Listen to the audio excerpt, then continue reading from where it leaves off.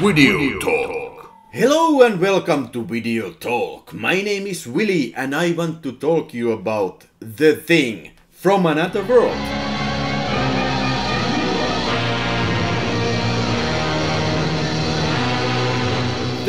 From Another World was directed by Christian Nyby, but uh, most of the people say that it was actually directed by its producer Howard Hawks. Howard Hawks was a legendary Hollywood director. He was a billionaire and he put his own money to make excellent pictures and The Thing may be one of his most memorable films. Hey, Yes, sir. Wait for me, Pat. I want to get a picture.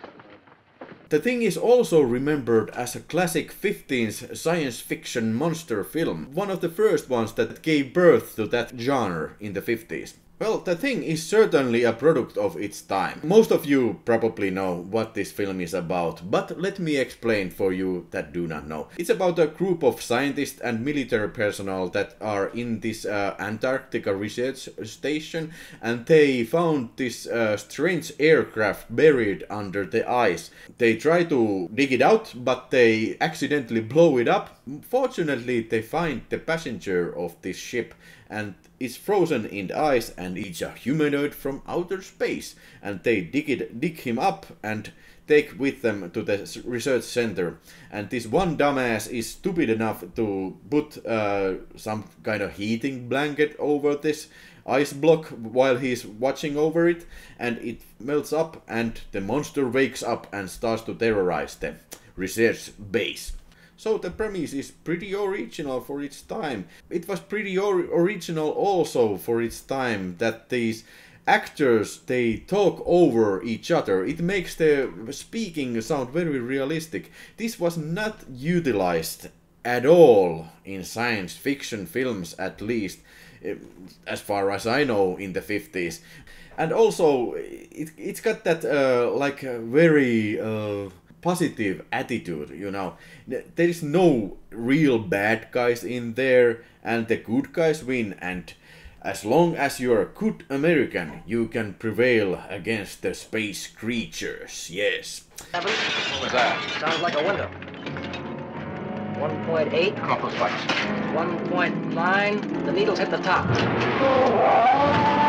The Thing is based on a short story by John W. Campbell Jr. It was written in the 1938 uh, and it was titled Who Goes There? And it was remade famously by John Carpenter JC in the in 1982 starring Kurt Russell. And that remake uh, it's not uh, in my opinion a remake. It's it's merely a, a reinterpretation of same story this is fiercely respected film but i think john carpenter's version over has overshadowed this. They are completely totally completely different versions about the same same story not even same characters in there.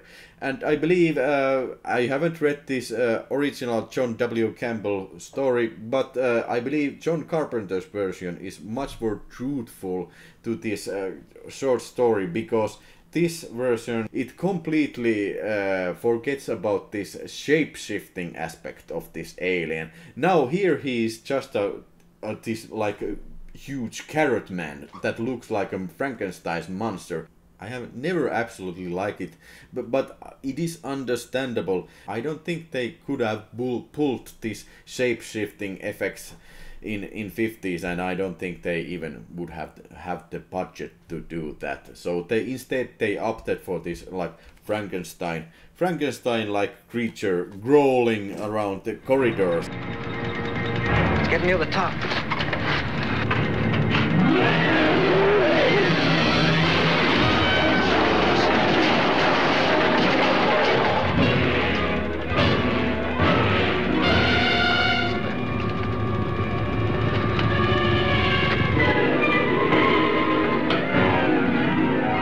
These guys open the door and the thing is right behind it. You don't expect him to be there. It's it's like so so in your face that you are wow oh oh oh okay they did that. No, but go ahead and open it.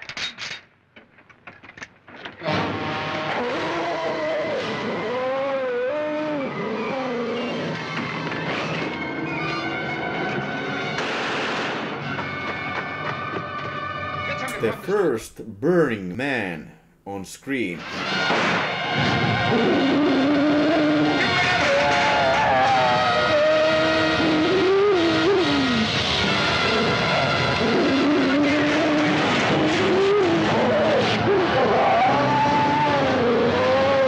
But I never get the sense of danger about these people.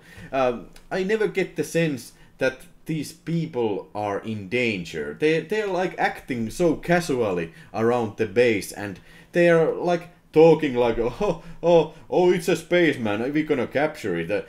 And also these military guys, they fuck up in the beginning when they explode this spacecraft.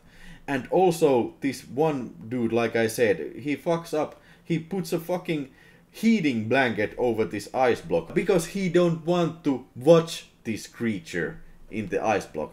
What a moron. What the? Juice is off. Pat! Pat! Carrington turned off the generator! Come on, bring the flashlight. Eddie, hold him off as long as you can. Roger. Watch out, he's got a gun! Keep away. Keep away.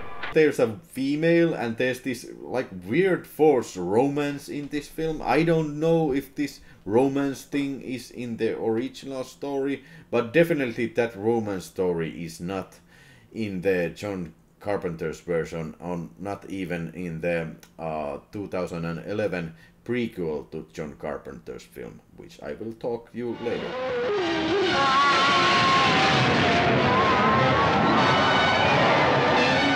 The Thing from Another World in my books is a three-star film. It is a classic science fiction, but it's it's not one of my favorites. It's it's just too cheesy and too campy, and most of these films from the 50s are. But there are some good examples that if you, it is from 50s, it's not campy. Like, uh, for instance, like Invasion of Body Snatchers, not campy at all. Well, maybe a little. Tell the world. Tell this to everybody wherever they are. Watch the skies. Everywhere. I recommend watching it, especially if you like 50s science fiction, horror, monster films. So, and you haven't seen this, you definitely need to see this. For the rest of you, I recommend John C's The Thing from 1982, which I will talk you later. Thanks for watching. See ya.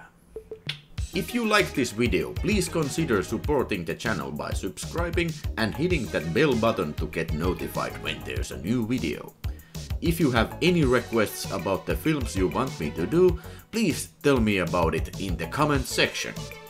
For more info, visit videospace.fi, a community for video collectors and movie enthusiasts.